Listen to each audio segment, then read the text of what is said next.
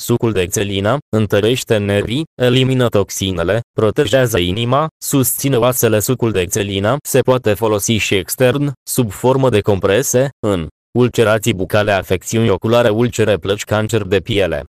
Dragi prieteni, având în vedere numeroasele beneficii aduse de consumul de sucul de țelină, vă recomand cu tot dragul consumul lui cât de des puteți.